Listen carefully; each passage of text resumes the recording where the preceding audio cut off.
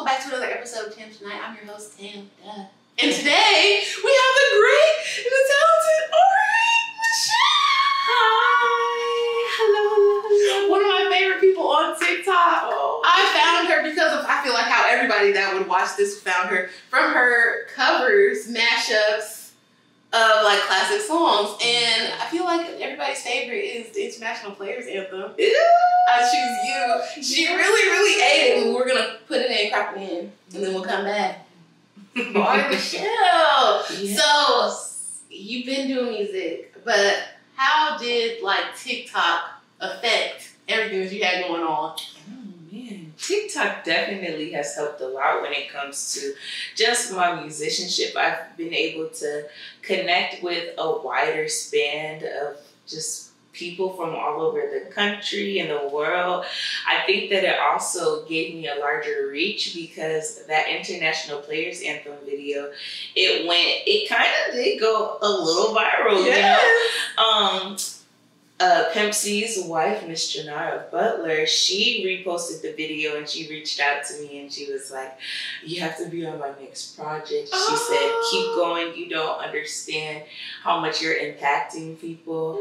And it's so crazy because this past weekend, I met Big Boi. I saw. I'm Oh so my happy. gosh. And literally, like, the whole situation was crazy. So, like, we were going to go get, like, IHOP at, like, almost two in the morning, and we were walking out the hotel. And walking into the hotel was Big Boi, and I almost lost my step. But my my roommate, she was my roommate in college all four years. She's one of my best friends.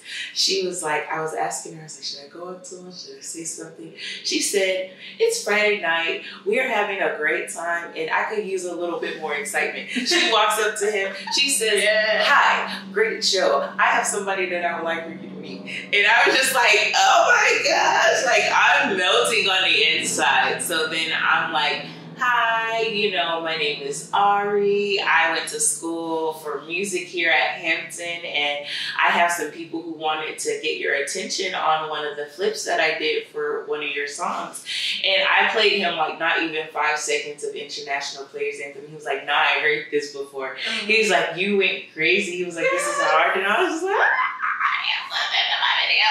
So TikTok definitely helped like increase my reach Mhm. and it allowed for me to find my niche too when it comes to the sort of content that I do want to post online.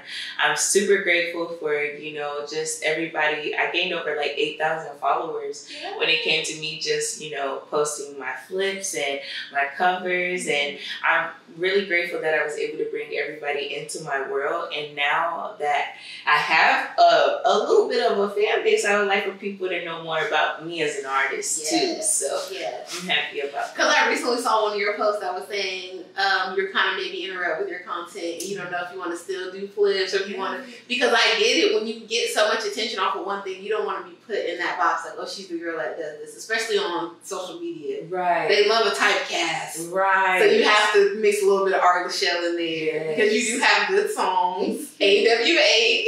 It's very dancey and fun. I love the spirit. I'm a fashion girl, so it's all fashion show music. to me. Yes, that's a dream of mine. I've always wanted my music to play during like fashion shows. I used Oh to my play god, it's perfect for it. Thank you. I used to play a JoJo's fashion show growing up, and I just love the music that was playing, like while I was styling the girls and stuff. And I was just like, oh my gosh, I would love for that to be my music one day. So to create like you know this dance project with my brother Stefan Ringer and Marco Mason and Jeremy, it just definitely allowed for me to have fun. You know, it's a very um, authentic EP. It's about just, you know, feeling how you feel and not denying the last song the, the last song of the EP is titled Deny. And mm-hmm. you know, it was we honestly had the EP already confirmed and that last song tied the whole EP together because it really allowed for me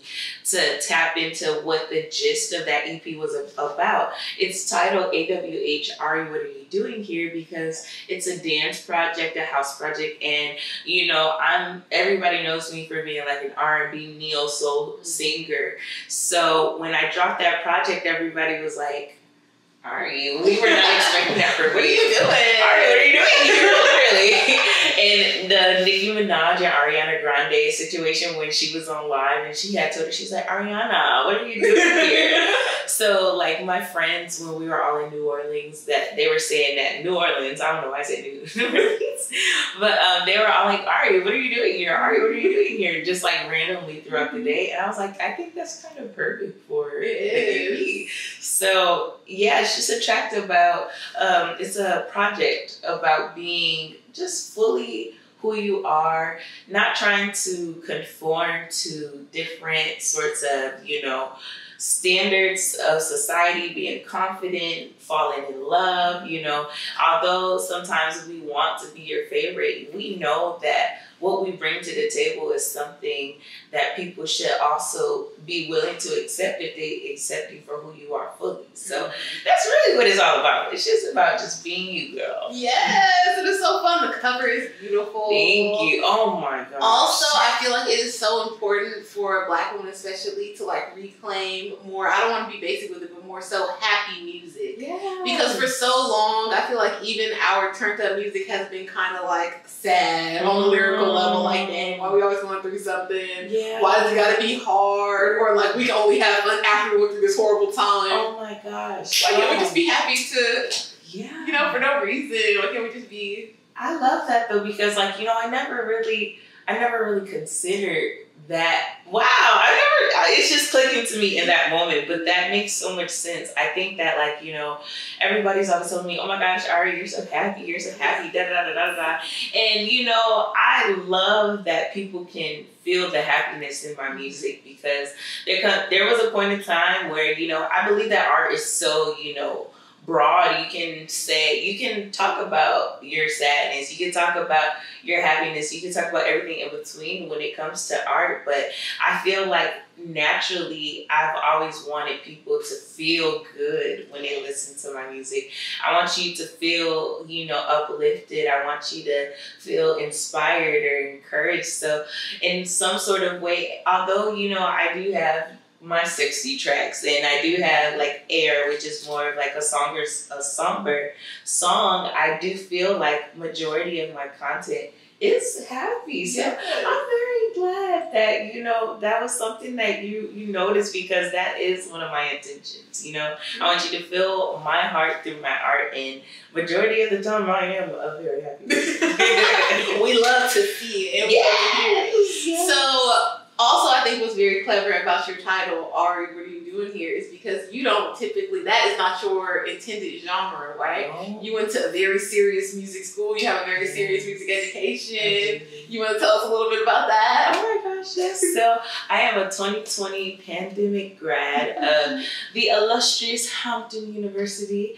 I have a Bachelor of Science in Music Recording Technology, and you know, within that major, I have a um, minor in piano and a major in voice. So Okay. you know, classically trained. I was soprano one and two section leader for university and concert choir. I was also one of the lead vocalists in jazz combo.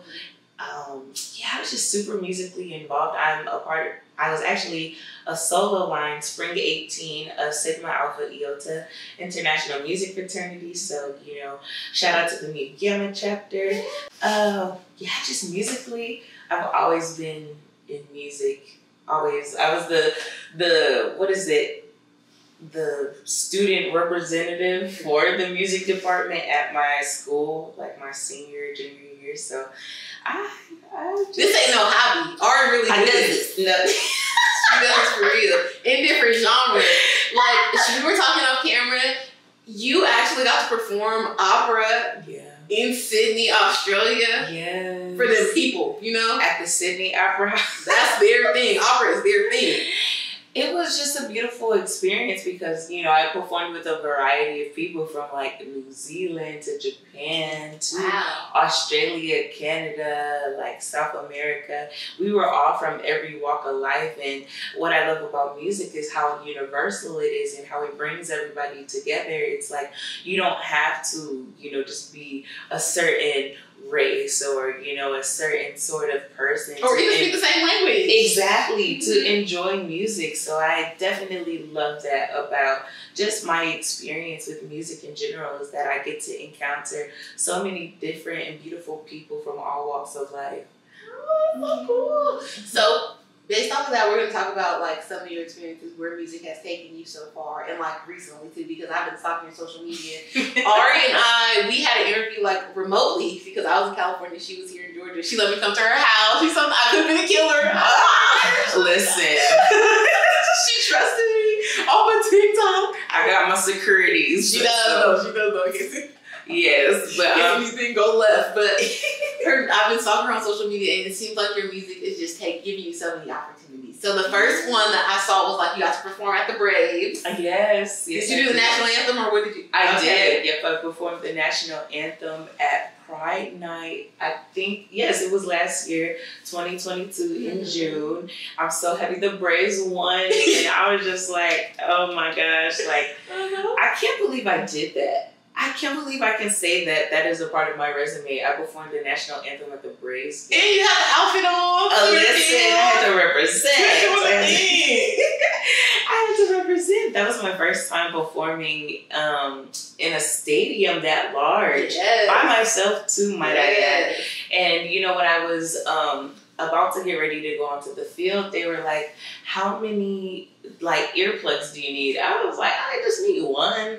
I didn't understand why they even offered them to me until I was singing, and I heard my echo like three seconds later. Oh, wow. So I was singing, but I had to stay on time with what I was hearing in my earplug, and I was like, "Oh, this is interesting." yeah, it's an experience. But I loved it. I really loved it, and I would do it again. I want to get all the Infinity Stones and go to like uh, perform the national anthem at you know the soccer game, okay. basketball, football. I'm trying to do it all. Because that was gonna be my next question. Like, so are you going to the Hawks next? Like, where we Listen, going? and one call is all. Ari LaShell will be there. Okay, she will be Send there. her Hawks merch, Police. and she will be on there. I love that. Yes, I would. I would. Oh, so fun. And then football, y'all might have the. We already had Bowl here.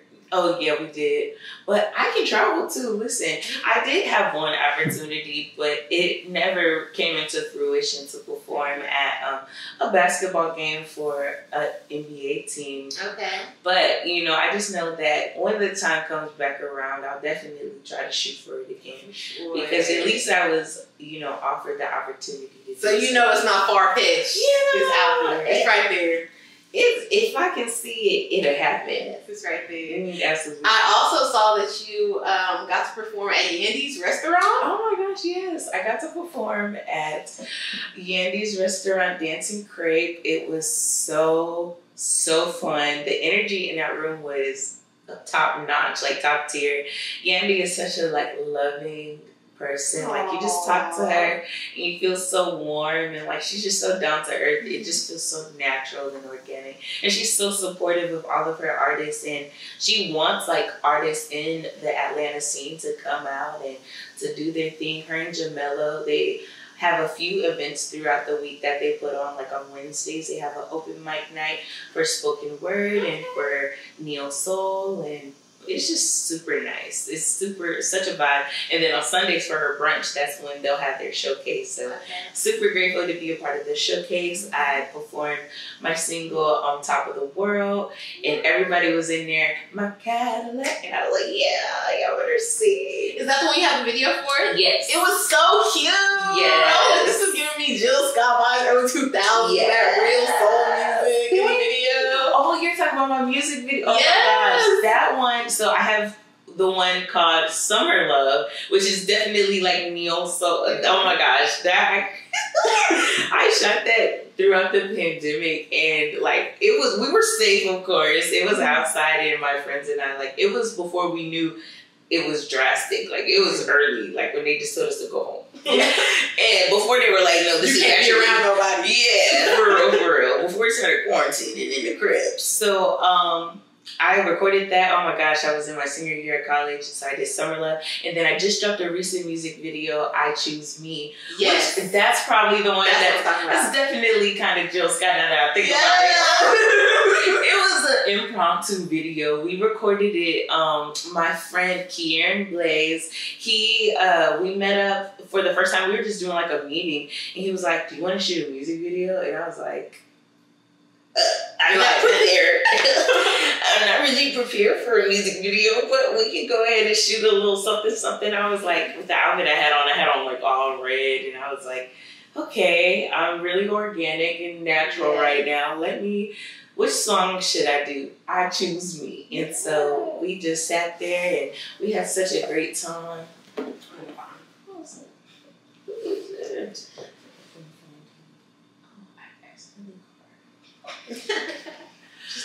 Yes, but that video was so cute, and it did feel very organic. That's why I was saying it really took me back to like early 2000s, mm-hmm. like Neo Soul, where they're just making a video about their regular life. For real. Everybody in her house, just Yes. outside the park. Yes. that's the vibe. We need that though. Yes. We need that. I think that we don't always have to, and that's something I learned with shooting the videos that you don't always have to be so elaborate with, you know, your video, Sometimes it is just as simple as boom, you know, I'm outside drinking some coffee, you know, reflecting about my day with a nice mural in the back, you know. I feel like because of social media, everything has become so overproduced. Like even Absolutely. the smallest things. Like I see people, family activities become a whole production. right. And it's like, okay, I get that for like aesthetic reasons or whatever memories, but I think it does take away from like the realistic element. Mm, People yes. have such unrealistic expectations now situations things because they're seeing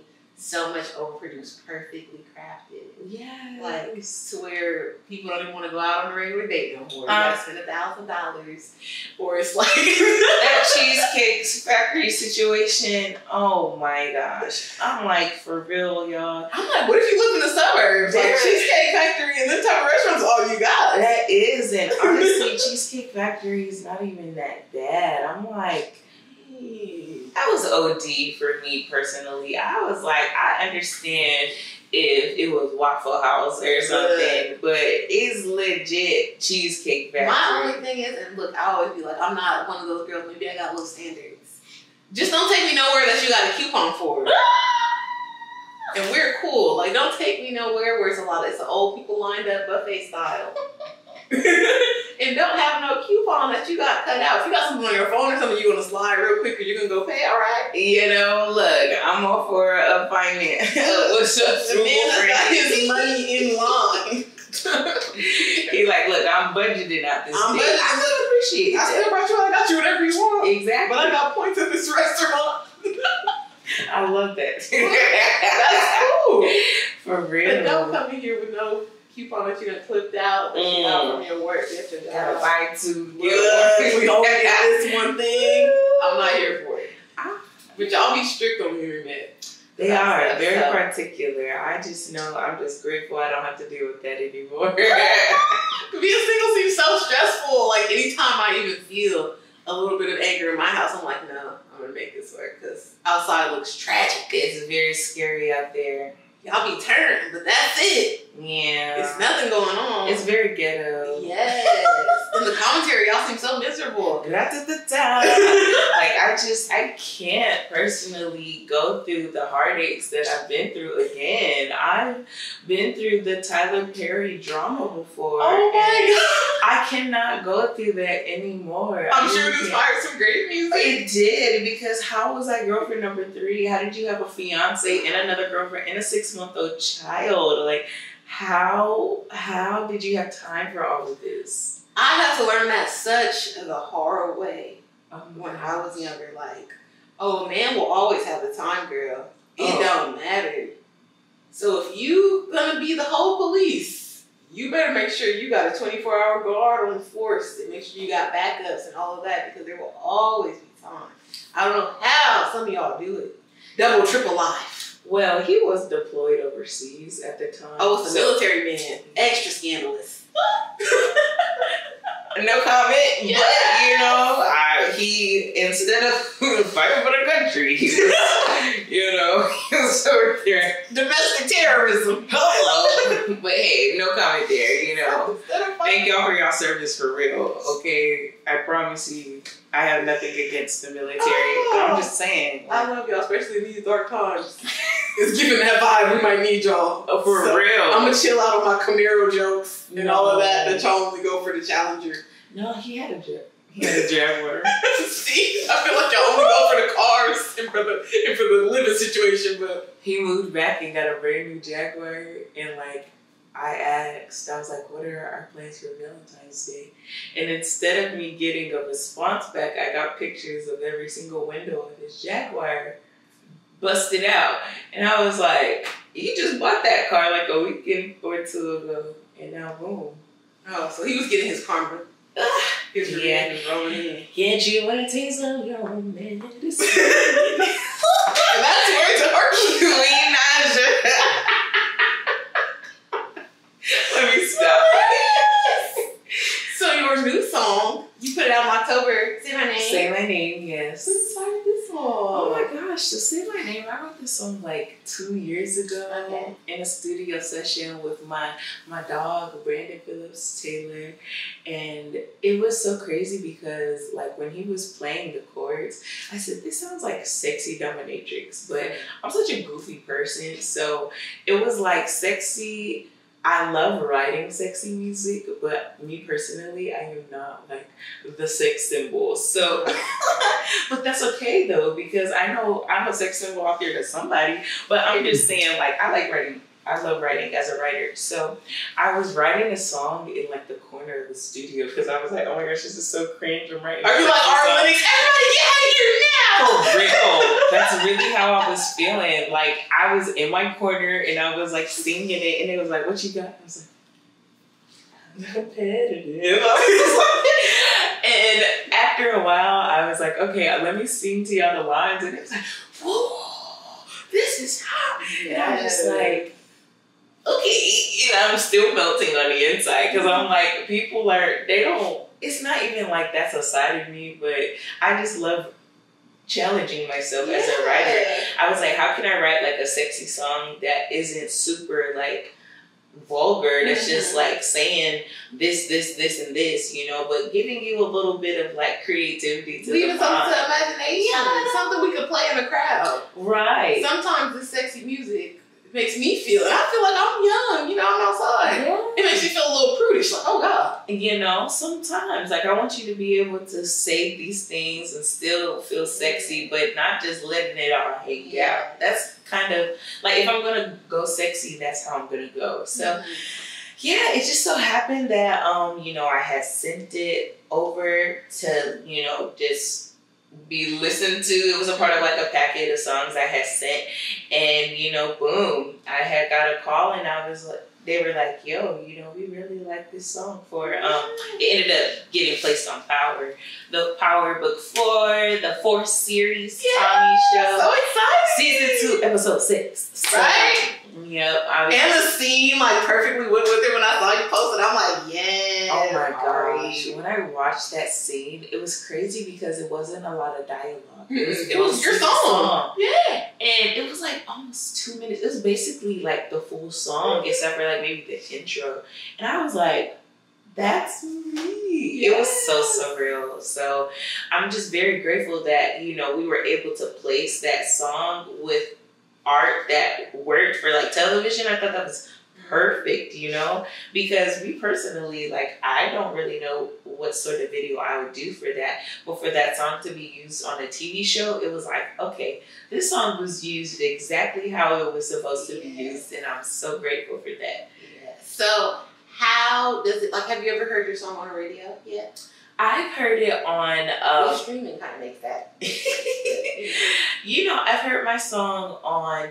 Well, I heard that my song is playing on the mainstream radios in London. Okay. I was really That, that your music that definitely fits their vibe though. I love that for real. I have Yes. to go to London now because for me to hear that my music is being played on the radios in London, like I have to go see what it's all about. Now. I'm gonna send you a link, but you should. You do you like Mahalia? You know Mahalia? yeah, You should totally go to Mahalia Presents. yeah, I would love that. Yes. in London? Yes, she puts on like a showcase for What? other artists. Oh my So- gosh. I'm sending you. a yeah, I'm gonna do that because I, I'm, I'm gonna do the Soho one too. So Yes. love this. But um, yes. so London has played my music. I know on um a radio series Mags FM, they've also played my music, and then I do believe that one sort of sector of Soho has played my music on one of their playlists before. Okay.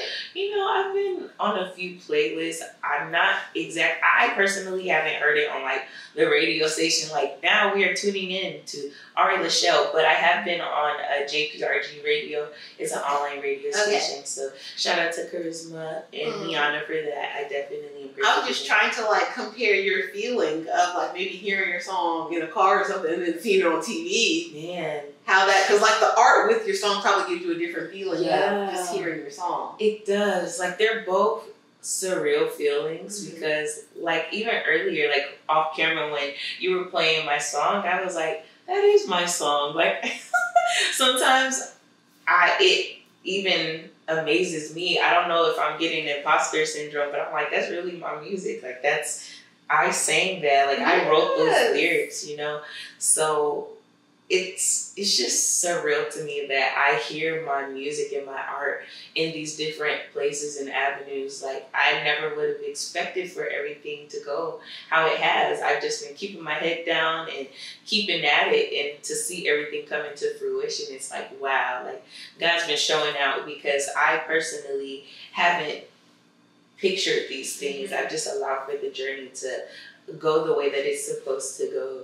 Okay. Yeah. So you're not, and this is what I try to tell. I'm very close to my younger brother. He's ten years younger than me, and I Uh-huh. try to tell him all the time, like, don't be married to your ideas of things or like how they're supposed to turn out or exactly how they need to go, because that'll get in your way more than it'll help you. They Yeah. certain people might put it out like, oh, you're manifesting, so you need to have this specific vision board with every single thing you want, all of that. You might be blocking something that was better for you. For sure. So you have to like, of course, be diligent. Of course, work hard. Like you're saying, keep your head down, focus, but also leave room. I feel like it's so hard for that little bit of control when you leave room. Because yeah, maybe you just want to be an artist. You never thought, oh, I'll do have my music on shows or. Right. Maybe you're thinking like, I'll go on tour. and People will just like my songs. Not Right. that they'll know it from you know a show that they love or something.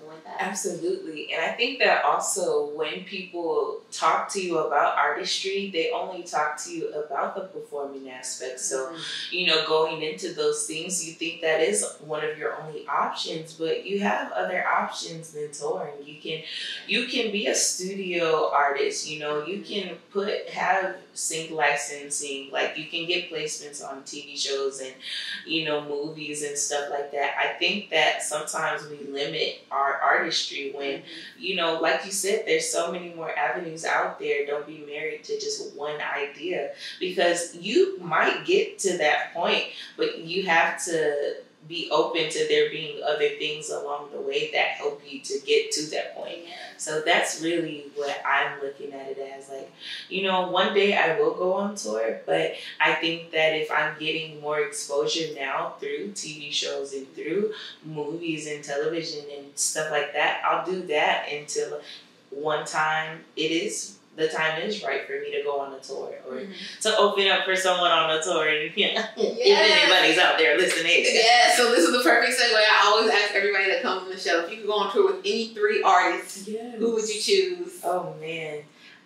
I'm not gonna lie, I've been super obsessed with Victoria Monet lately. Mhm. Love her so much. Anderson Paak, uh, like Silk Sonic. Yeah. Um, dang, that third one is hard because it could be, it would be like a lot of people. I would love to go on tour with Alex Isley. Oh, that would be amazing. I would love that. I feel like your music would mesh very well with hers.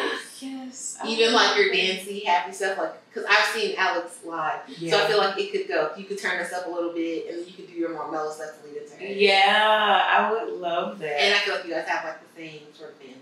Yes, I really adore Victoria too, because I wasn't expecting. Um, you know, her music is a little bit more. It's similar to Silk Sonic and stuff in that way, like Right. kind of how old Funky, school, funky, yeah, but still very new and fresh. I was not expecting her to have a more mellowed out opener. She had Tanner open for her. Mm. And her music is like very moody and like Mhm. heavy and, and Mhm. sexy. She comes out there like a goddess. Love that. So I'm like, yeah, Ari LaShell, you can open I for Victoria Monet. Show, show. And you got the soul and you got the dance music too. Yes, and I'm gonna be like Channel Tres when I perform live. I'm gonna have some dancers because Mhm. personally, I feel like dancing. I could do a little choreo, but I am not a dancer, so I gotta have my dancers out there because they're such an important element to a live performance. And I'm glad people have been talking about that more. Like specifically, I've been seeing Offset talk a lot about it um, in regards to rap, saying, "Oh, rap is kind of people are saying it's falling off and stuff because they don't bring everything to the performance. They're kind of chilling up there. Mm. They be walking around, smoking, drinking, acting like they didn't want to come. You know, they got the background track on. Ooh. So when you do put more into your show, like, okay, you don't want to dance, that's fine, but have some people up here to engage and like do a little something, have some costume changes, Right. do what you can do to entertain us because we're still here to be entertained. If we just wanted to hear a song, we can do that at home. One hundred percent. We came to see you. I love the um, live element of performing because Mm-hmm. I'm I love intimate settings when I perform, but I'm also like my dad is a comedian, so Okay. so it's very I've always kind of added an element of comedy to my shows. I'm such a goofball, and I feel like I'm so just like authentic in my goofiness. Like if there's something that happens on stage, I'm just talking about it, or like sometimes I might take my heels off because my feet hurt, and I'm going to enjoy us show. for real. So I'm just so real when it comes to my show. I always try to make it like engaging and so like yo i'm i'm just like everybody on who's watching me you know i i ha- i'm not perfect i i love to sing i love to you know perform but at the same time i want it to be interactive like i really want to connect with my audience because it changes depending on who you're performing in front of mm-hmm. so i want to tailor my performance to that audience Okay, that's fun. So like if you were doing a festival, it would be more so like your AWH stuff. It would Yes. be fun. Maybe if you could go all out, and then if it was you're opening for let's say Erykah Badu, you would be doing your neo soul. or soul vibe. absolutely yeah So yeah, you can you have something for everybody. i'm versatile baby yeah. Everybody always wants to put somebody in like a particular box, but at the end of the day, no person is one dimensional. Yeah. And I think that's so unfair for people to subscribe, like to have you subscribe to one certain thing when you know that there's so many different elements of you as a person, elements of you musically. You don't just listen to one genre of music. Yeah. Why is it that an artist can only do one genre of music? I've never understood that, and maybe because I do have like an eclectic taste of music. But yeah, I'm listening to all different kinds of things. So why do I want Ari to only make this kind of music? Exactly. What if she's good at several different? I want to hear whatever she's good at. Let her try it. Yeah, you know, and if it doesn't work, I'm gonna learn from that. Mhm. But at least allow me the opportunity to do that, to see, you know, Yeah. to see what happens if I drop a dance project, to see what happens if I drop a R and B project or a jazz project, like you know, just whatever. I want to have that opportunity to do that without being shunned. I, that's so unfair Or to it's the like artist. how executives will make it seem, or you're going to alienate your audience if you try this thing. Know, They're not Mhm. going to like you anymore. You, Right. Why? I'm still singing. Like I'm still, I'm still me. It's still the same personality. Yes, a lot of people say, you know, you have to build in one area and then you're able to do the other things. But I feel like if you can build simultaneously in multiple areas, mm-hmm. why not?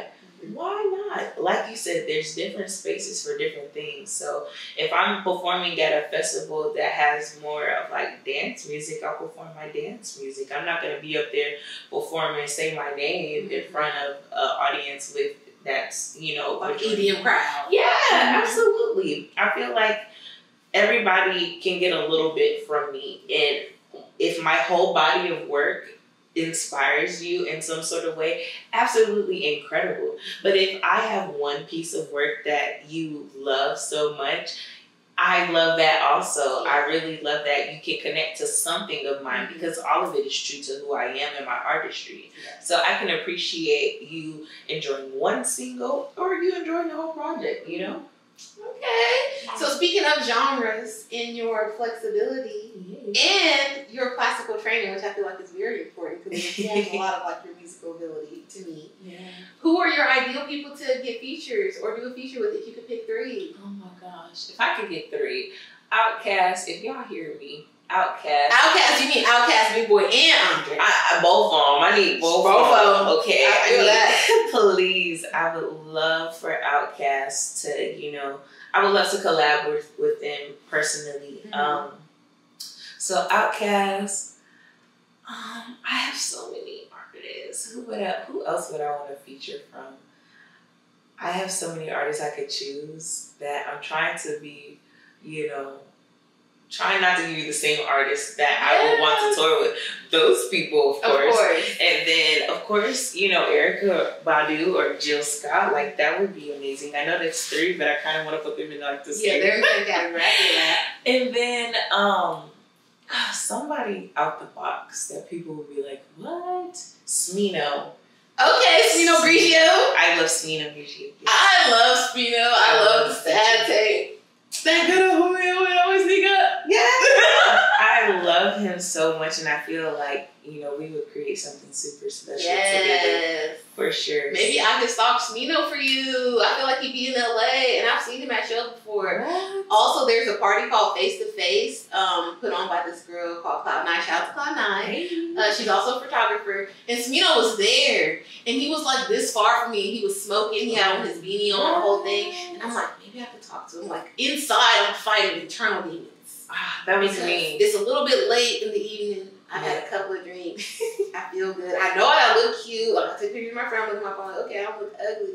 But is this the time? Right. Because of what you've had and what you've done, are you going to say something stupid? And this is your only opportunity Ooh. to be in proximity to Smino. Do you want to go over there and fuck it up and rap little Julio? You want to embarrass yourself? You ask some stupid question?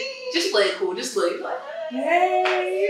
But I was so mad. And then on Twitter, I was like, dang, I see Smino. Like, I was fighting demons. She's like, you should have said something. I'm like, oh it ate me up. man, So, that's how I felt about the internet. So I had um, my friends sent me their posts because when I was in college in Virginia, I went to see them. Moonchild opened up and they were performing. Mm-hmm. But they had a contest going on that if you like did one of their covers to one of their songs, they will mm-hmm. let you get up on the stage and sing with them at the concert.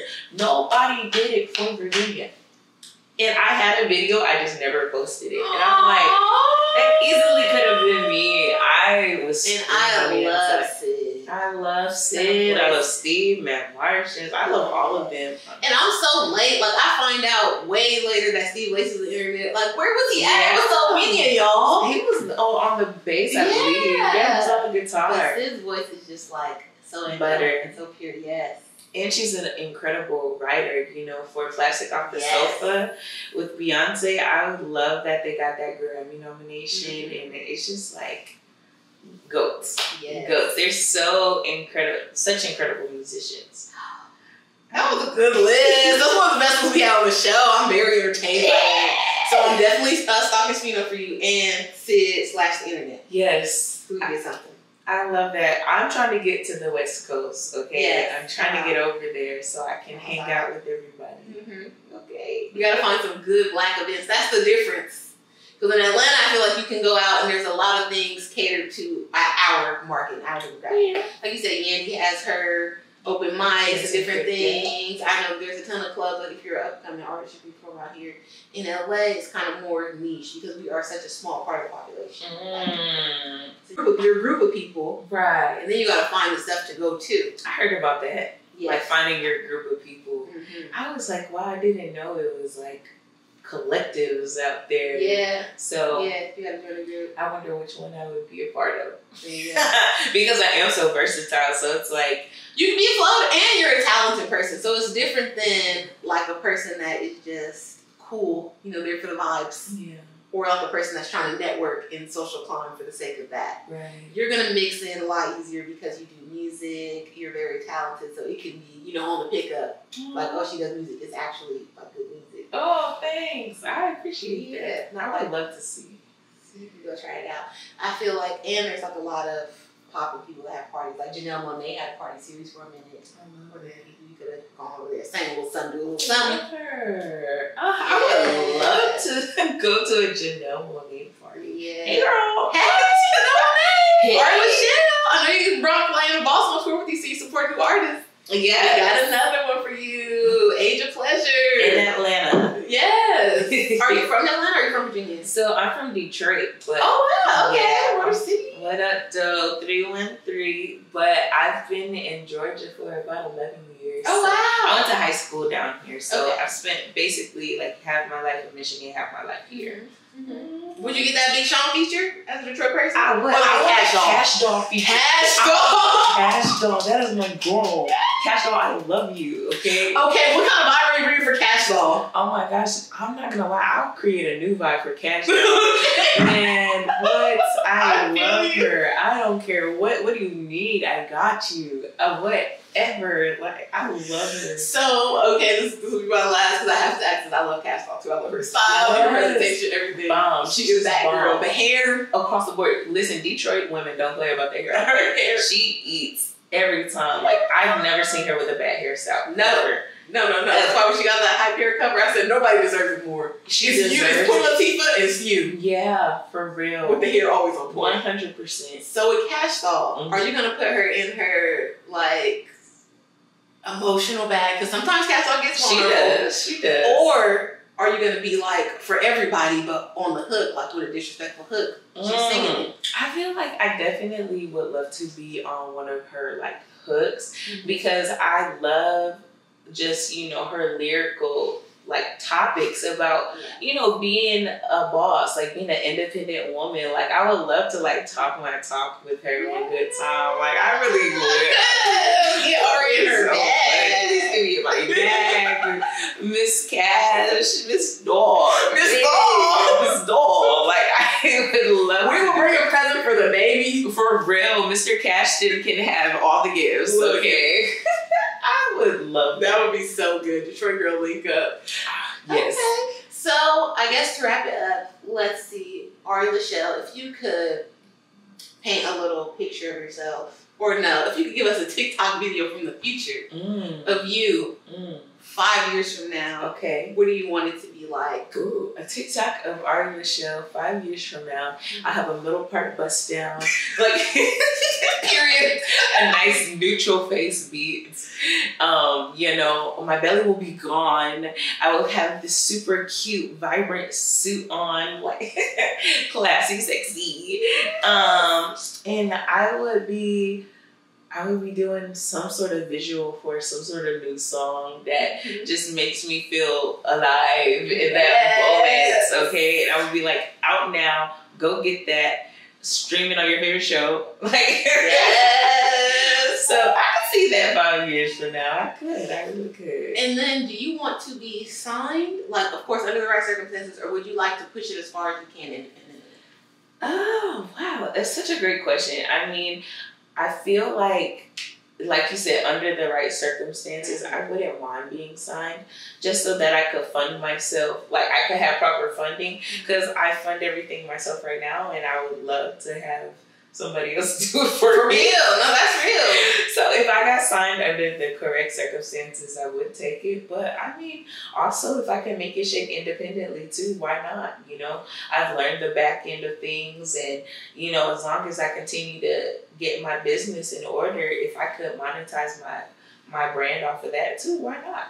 Yeah, and I know we talked a lot about black women here being impacted, but we both are. You know, we happen to be that. Yes. If you are able to command like a certain dollar amount for your performances and for your features and for your work and all of that, and you're able to sell merch and get your music on TV shows and movies and all of that, I think it would be way more impactful that you own that stuff. And then like your family, if you choose to have children or whatever you want to do, that is like Ari LaShell Incorporated. Yeah. Because or like you know, Artsy LaShell, baby. Yes, or some subsidiary of a label. Like I know labels give people imprints, like something like that. For sure. I feel like since you are so like musically trained and you have a lot of various experiences, you could even help like be a culture curator for other people. I love that. Absolutely. I feel like, you know, within me finding my niche, I've also learned that, you know, finding your niche is not always looking up to somebody. Sometimes Yes. you have to figure it out yourself because mm-hmm. if you are the first person to do certain things, you know, you have to figure it out along the way. So I definitely wouldn't mind to, you know, be that person that people could look up to in regards to how do I do things in a more like, you know, versatile way if I have all of these things like that are within me and the best way to monetize off of them. So Mhm. I like that. You know, we're gonna stay independent as long as we can and we're gonna thug it out. But if the opportunity presented itself in a way that I felt was manageable Mhm. and I would complete my contract and probably go back independent. Yeah. I mean, yeah. I don't know. I hope when somebody sees this, they're like, oh, she said she'd go back independent. It just depends. It all depends on the circumstances and how life plays out. Mhm. But, you know, I just always do what I feel is right for me in my body. And I feel like God wouldn't present opportunities to me that, you know, with the discernment that I ask Him for daily, you know, He wouldn't present something to me that wasn't for me in the time that it, in the manner that it presents itself. So, I agree. Yes. All right, Michelle. And my mm-hmm. final, final question will be because I feel like you're so fun and you have such a personality. Thank you. Would you ever be interested in acting, like TV or movie? Oh my gosh. So I did acting in high school. Okay. So I mean, if somebody was ever like, you know, we need you to do a little one two one two, I'm Mhm. like, I mean, Yeah. I, I try. Would you be down for a. Netflix and Tubi movie real quick? They got that check on them? You know, I would. Listen, why not? Why No, not? Ari wants you to be a singer in a bar. Do I? I got you. How much? How much? Mm. Like, How much? do y'all got a wire or do y'all got like you don't gotta tell me how much? I'm just saying. Yeah. You're, you're like, yeah, I got you. Mm. Yeah, just depend. the- If that number is That right, number's right. if that number's right, right. I'd be up in that. Can we get Idlewild Part Two? Know, oh my gosh, I would be up in there. I would be in that. Ain't movie. that much time.